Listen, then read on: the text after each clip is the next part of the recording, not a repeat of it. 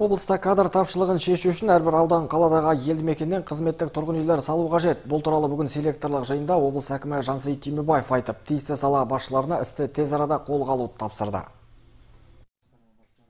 Аудан қала әкімдері мен басқарма басшыларының қатысуымен өткен мәжілісте шалғай елді мекендерде өмір сүріп, мемлекеттік және бюджеттік салада еңбек етіп жатқан мамандардың баспана мәселесі, кадр жетіспеушілігі, оны шешу жолдары қаралды.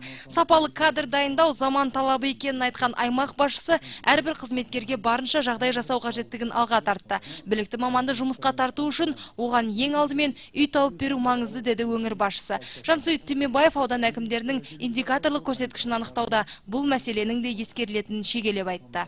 әрбір ауылдық округте 20 пәтерлік екі қабатты қызметтік үйлерді салу келетін мұғалімдер үшін дәрігерлер үшін бір екі бөлмелі жас кадрлар үшін бұл бүкіл облысымыз бойынша ротация жүргізуге бұл әсер етеді сапаны көтеруге үлкен көмегі болады алмастырып қызметкерлерді жүргізіп отыруға бізге бұл үлкен көмегі болады Жиында облыстың білім саласына жетекші болып тағайындалған басқарма басшысы да өзіндік пікірін білдірді. Исатай Сағындықовтың сөзінше, облыста 87 мамандық бойынша 14374 орынға сұраныс келіп түскен. Ауылдық жерлерде кадр жетіспеушілігі жастар практикасы дипломмен ауылға бағдарламаларының нәтижесінде оң шешімін табуда. Алайда бір кем дүние бәрі бір бар. Жас маманға дайын үй жоқ. Жиынның келесі тақырыбы бойынша әдеп нормаларын сақтау мәселесі қаралды.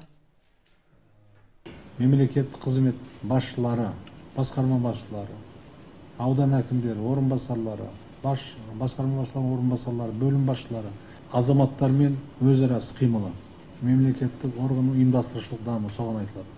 Ең қарапайым нәрседен бастаймын мен. Этикадан. Қазіргі бүкіл әлемде дүниеде қалыптасқан этика бар норма бар. Содан басталады. Ешкім ешкімнің құлы емес.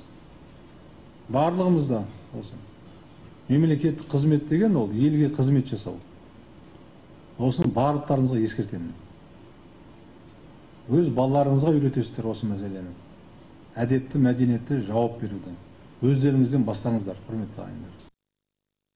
Ал денсаулық сақтау саласы бойынша 1085 жас маман жауапты басқарма қолдауымен ауылдық жерлерге жұмысқа орналасқан. Оның 293-і ауыл әкімшілігі тарапынан тұрғын үймен қамтылды. Дей тұра елді мекендерде әлі 157 емдеу ісінің маманы қажет. Оларды ауылға тарту мақсатында бұдан былай 100 мың теңге емес 1 миллион теңге көлемінде қаржылай көмек көрсетіледі. Бақа есеппен ауылға барып 5 жылға жетпей қайта қалаға кеткісі келсе, бар соманы қайтарып беруге міндетті. Мұндай тың жоба еліміз бойынша оңтүстік Қазақстанда алғаш рет жүзеге асырылып отыр. Әкім тиісті тапсырмадан нақты нәтиже шығуын өз командасынан талап етті.